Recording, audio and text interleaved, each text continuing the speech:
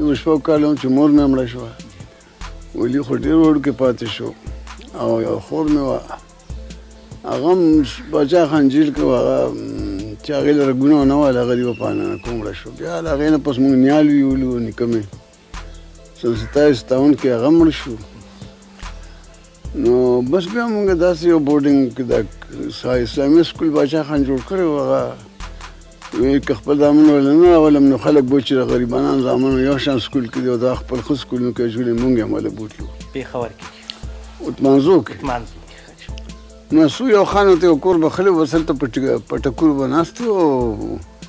قرآن او حدیث او دا بلوغ المرام او اصل محاضر قرآن شریف هم بخاری او مسلم او مشکات او صرف او نحو او دا ټول دا دا اسلامي علمونه مې د باچا خان دا خیال وي دی مولا کومه هغه چې مولا په کار دی چې هغه دلته د مولیانو ډېر سر دی دا خو به هر یو شي سیاست اړخته وکړه نو هغه چې انډیپندنت یو په خېټه موړي نو هغه حق خبره به کولی شي نو د هغې لپاره زه دا کې ورټومبلم نو هغوی سره زه نه لس کال لسم مې هملته پاس کړ بیا دلته کالجونه مې نه اخېستي نو همدې کوم نه سکول نو زنګه وړوکوالي خو ډېر تکلیف تېر شوی دی هغه کیسه کول خوښه و خو زمونږ نوکران زامن زمونږ نه ښه حالت کې ډېر بد حالت کې مونږ هر وخت به وږي تږي او یخني به هم کېده دغه درې روپۍ د میاشتې د بورډینګ خرچ نو په درې روپۍ د میاشت کې هغوی موږ ته څه راکوله او څه راکولي شو او ډېر ارزاني شو نو بیا هم څه راکولي شو بیا مې کاکا د انګلینډ راغی ډاکټر صاحب جنګ خلاص شو هغه راغی نو هغه بیا بابا سره خو مې جنګ مانګ وکړ ډېر وې دا هلکان زندګي یې تباه کړل زموږ د فیملي ستا نور هلکان چې سره د ولي او د علي نو دوی خو یې واخېستل ډېردون سکول ته یې بوتلل نور هم درې سوه پنځه نور چې د دوی د عمر ماشومان وو زموږ خاندان کې او زه چونکې بیا نهم لسم کې وم نو هغوی چې د بوتلو څه ضرورت دی زه بیا د جامع ملیه نه مې لسم پاس کړ او بیا هم هغوی واخیستم بل بل کالج نه اخیستم نو دوی ته لاړم هغلته هم دغه حال وه غریبانانو هغوی سکول سره پیسې باندې کالج سره ډاکټر ذاکر حسین زمونږ دغه پرنسپل و او داسې زړې مړې بنګلې به یې واخیستې قرول باغ کې هغه کې به مونږ ناست اوس خو ډېر عالیشان عمارت جواهرلال ولا په لکونو کروړونو روپۍ ورکړې او کلاکې ډېر زبردست اردو یونیورسټي جوړه کړې ده هغه وخت کې هېڅ نه نو هلته زه هم یو کال هلته وم بیا عربي مربي خو ما دلته ویلې وه داسې به مې ویلې لکه پښتو چې وایو یا انګلیزي چې وایو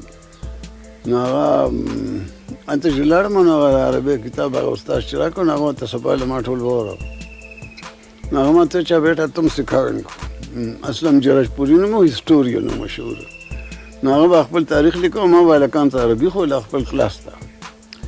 بیا د امتحان پر ورځ باندې باچا خان تار و چې راشه کچ دی ارجنټ دی خدای وار مې خطا شو په بده ورځ باندې همدغه شان ته امتحان مې پرېښود امتحان ته یوه ورځ نیمه پاتې وه نو چې راغلم دلته وي چې دا بچه څخه بغاوت کړی دی او امان الله خان صاحب جب را لېږلي چې ما سره ډاکټران نشته او سټیشن بیرز او فرسټ ایډ او بالکل میډیکل ډپارټمنټ د فوج کې نشته نو موږ شپږ ډاکټران روان شوي دي تیار شوي دي ډاکټر صاحب یې مشر و د ډیلیګیشن موږ دوه دېرش ته لالکانو د کالج جون نه وله روغ کړو ټول فرسټ سیکنډ ګیر والي وو نو څه خو د افغانستان سردارانو زامن وو څو دلته د خلکو نو زم پکې باچا خان افر کړی ما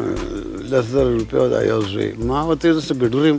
زما یې تپوس مپوس نه کړو خو بس زه والې ها نو هغه چې موږ ټرینر میننګ وکړو هغه فرسټ ایډ مې د کور دی راله جوړ کړل هغه پټې تړل سټریچر بیا کې داسې به زخمي وچته وي او داسې به وړی هر څه مو کړل بیا پیرنګانو پاسپورټونه نه راکول نو د هغې پورې هغه بند کړ چې امان الله خان کوټې ته لاړ بیا کوټې ته مې بابا وله لاړ ورته چې تر موږ سره اشنار کې دېره شه او موږ به دلته کې د دې سره موږ به هم سړي ولیږو دې قبایلو ته او مومند کې حاجي صاحب د تورنګ ورور دی نو هغه زموږ رشته دار هم دی او مشر هم د خپل هم دی نو د مومند لښکرو کې نو تابیا په تخت کې نو نو هغه ورته وایي چې زه د خپل تخت دپاره د یو پښتون وینه یو څاڅکي وینه تویول د کفر ګڼم او بس زه به اټلي ته لاړ شم او دغه نو بس هغه بیا نو بیا مشن پاتې شو بیا ما ته جامع ته لاړ شم بس ما سدیا ګرمه شروع کړه نو زه مې چته نه ځم جامع اظهر ته لاړ شم نه ملاقات کوم نو بیا کاکا مې ته چې پرې داسې ژوند خو له خراب کړو خو چې اوس په دې اخره خو زده کی نو لندن ته ولېږلم نو هلته یې مولا کره ولېږلو نو هغه هغه سره مې یو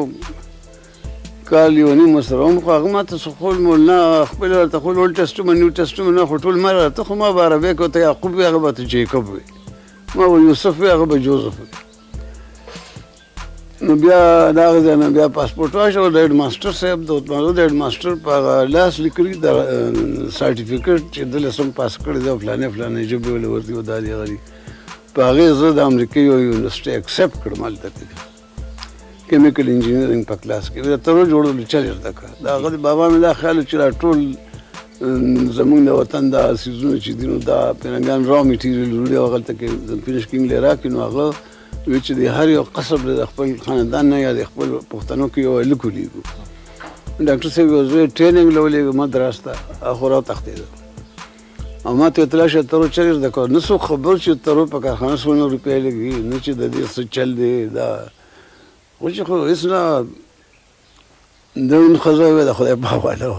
جی نو هغه لړم امریکا ته کالج کې ما اې کې ما یو څو کال تیر کړل هغه دغه چې اخري پریکټیکل سه پاتې شو نو بیا ما دلته کې دین جایداد مې دا ضبط شو او ټول روپیم پیم خلکو چې چا سره وي هغوی بس کېناستل پې هغوی خو چې زه لاړل ختم شو دوی موږ ټول خاندان هلکان ګیر شو، خور مې یو سکول کې ګیره شوه انګلینډ کې،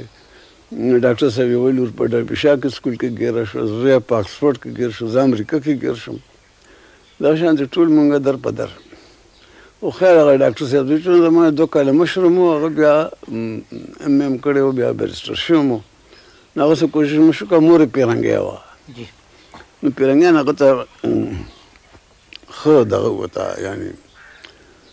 خو زړه کو نه غراغي راورسید خو اته میاشتې هغه ته کې مال د کور نه خط نه حساب نه هیڅ نور علی ډېر تکلیف کې